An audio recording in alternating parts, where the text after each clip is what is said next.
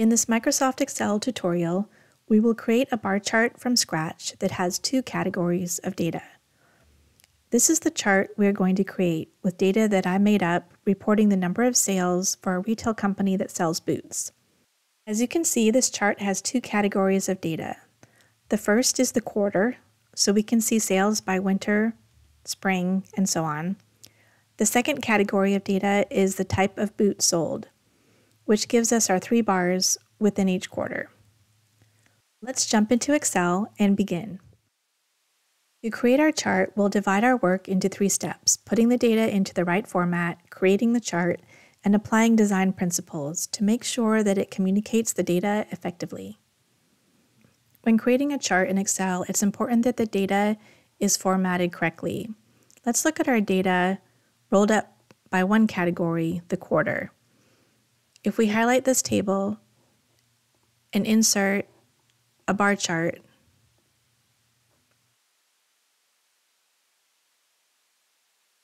then click on the plus sign to the right of the chart and show the legend, we can see that the chart is correctly showing the number of boots sold by quarter.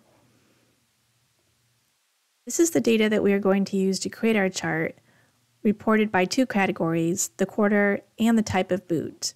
So for quarter one, we see our hiking boots, work boots, and snow boots. And the same for quarter two and so on. If we look at the grand total, 9467, it's the same information, just broken down by two categories. I highlight this table without including the total, insert the same type of bar chart and show the legend. You can see that this is not what we're looking for. We want a legend that has the three different values of boot type, hiking boots, work boots, and snow boots, as in our original chart. In Excel, each column of data is represented by a series we add a second column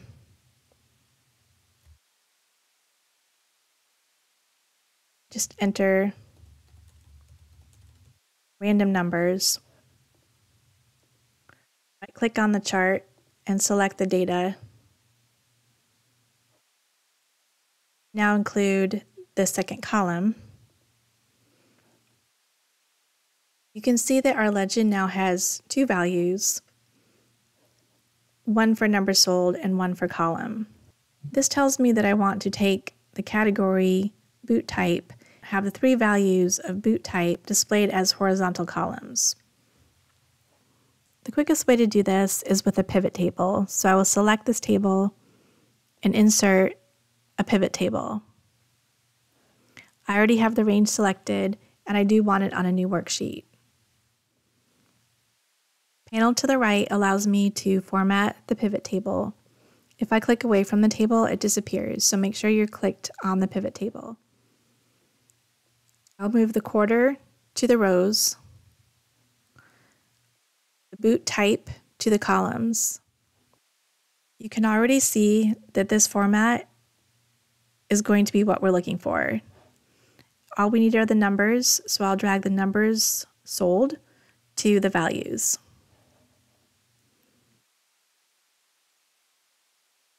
I'll highlight the data and I'm not going to select the totals because I don't need those. So just the column headers and the data without the totals and just do a simple copy from the home ribbon. Or of course you can click Control C or Command C on a Mac. I'll return to my data tab and I also have a color scheme here ready to go. And now I will paste values because I don't want the pivot table. I only want the values in the pivot table. Let's put a border around this table so that we can see what we're working with. And we'll do a quick check. In quarter two, the number of work boots sold is 1490 Order 2 work boots 1490. The grand total is 9467. If we select all these numbers, we can see our sum is 9467. Now when I create the chart,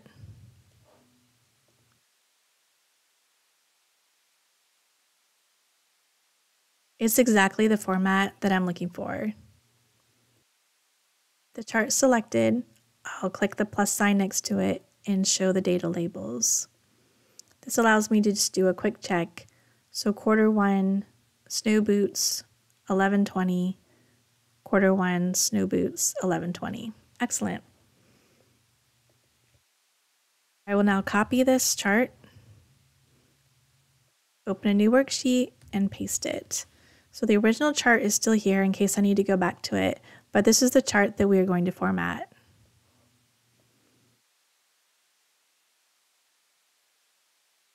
Although the data is rendered correctly, there are a lot of changes we can do to make this chart easier to read. The first thing I'll do is work on the text. I'll select the legend, and from the plus sign, click on the arrow to the right of legend and move it to the top. Change the font to 18 and make sure that the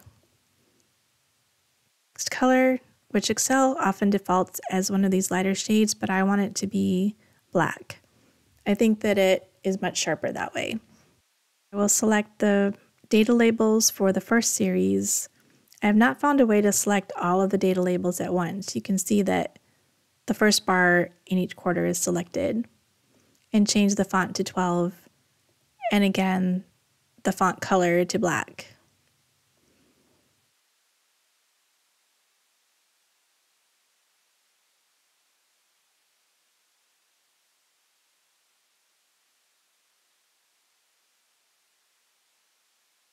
And for the x-axis, I size 14. In the chart area, because we have the data labels showing, I can hide the grid lines by selecting them and pressing delete, and do the same for the vertical axes. I will now select the x-axis because the line is a little bit faint and right click on it and select Format Axis. This gives me my panel on the right where I can format the axes.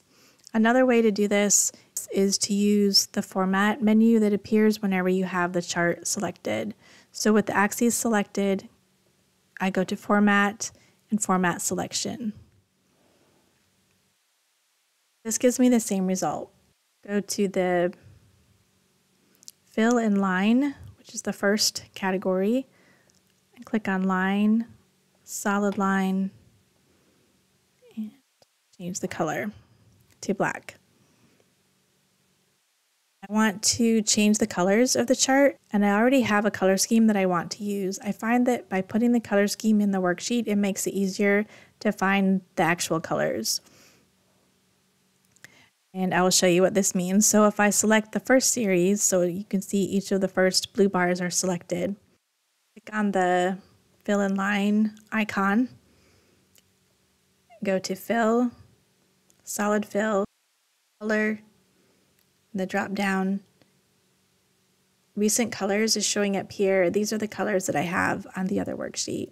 So the first category is hiking and I want that to be green.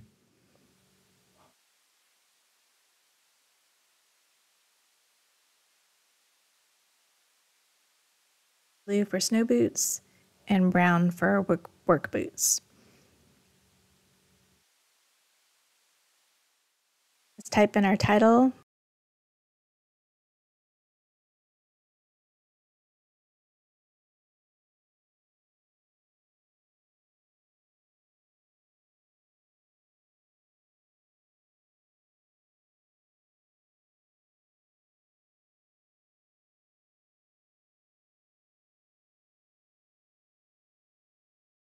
Think the font size is fine. I will make it bold and the color black. It would be nice if there were a little bit of space between the two lines in the title. So I'll click on it, move the cursor to the end of the first line, and press a hard return. And then I'll just type some letter like A so that I can see what I'm doing, but I'm going to select that letter and then change the font so that it's super small. In the drop down box, it, it, says the font only goes to 8, but you can actually type in a font, so I'll try 4. I think that looks good. And then I'll just replace the A with a couple of spaces. I will select the legend and give it a and highlight the background, which I can do here. You can change the background to what you want, and you can also do it over here under Format Legend. Fill.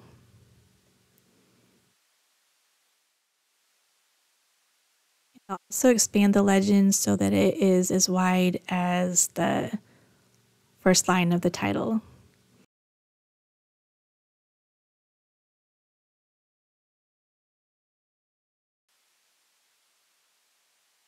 Our last step is to add a description for each of these quarters. If we look back at the chart that we are wanting to create, it has the description on the second line. To do this, I'll go back to the data for our chart and off to the left of the table, I will type in a description of those seasons. So quarter one is winter.